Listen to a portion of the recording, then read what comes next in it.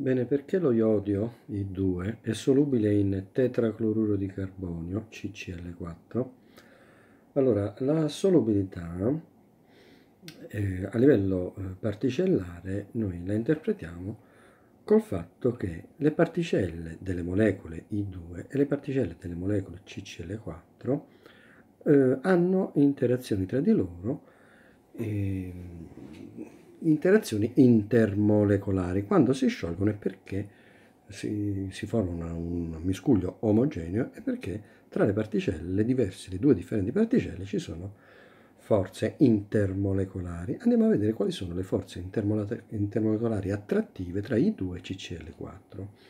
Allora, I2 è lo iodio. Lo iodio è fatto da eh, due atomi, eh, la molecola di iodio, da due atomi legati con legame covalente, legame covalente puro. Quindi non ci sono separazioni di carica, non c'è momento dipolare. Le uniche forze, diciamo gli unici, eh, gli unici eh, dipoli che possiamo immaginare sono dei dipoli istantanei, forze di London. CCl4, carbonio collegato con tre atomi di cloro con struttura tetraedrica, mentre la molecola di iodio è lineare per forza. Cl, Cl, Cl, Cl.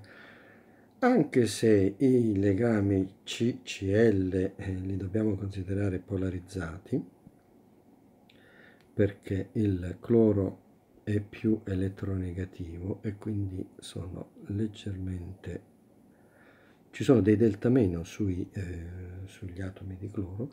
In realtà la molecola è simmetrica quindi la molecola non ha momento dipolare quindi si tratta di due molecole due molecole diverse ma entrambi senza, modello di, eh, senza eh, momento dipolare questo fa sì che le uniche forze eh, che possiamo invocare sono i dipoli istantanei. Dipoli istantanei che vanno a invertirsi istante dopo istante fino a eh, realizzare quindi delle forze attrattive piuttosto deboli.